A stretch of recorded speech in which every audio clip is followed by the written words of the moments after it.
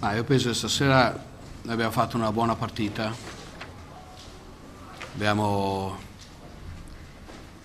a livello tecnico-tattico siamo stati, secondo me, bravi nel, nell'eseguire quello che volevamo fare. Abbiamo alzato un pochino la pressione difensiva. Abbiamo eseguito meglio in attacco senza farci prendere troppo dal panico, sotto pressione, siamo riusciti ad andare dove volevamo.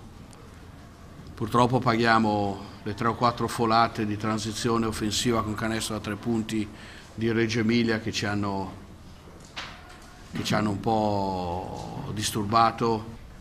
Sai, tu se vuoi vincere Reggio Emilia devi avere tutti i giocatori che ti danno qualcosa più, cioè qualcosa di positivo, che siano 40 punti, ossia un recupero, una, un rimbalzo, una difesa, però devono fare sempre qualcosa bene per vincere qua su questo campo contro una squadra così forte. Secondo me la risposta abbiamo trovato in positivo nell'atteggiamento della squadra, nell'attaccare, nell'essere più aggressivi, nel non farsi mettere troppo le mani addosso, andare fuori dai giochi. Cioè, secondo me tra gara 1 e gara 2 c'è stata una grossissima differenza.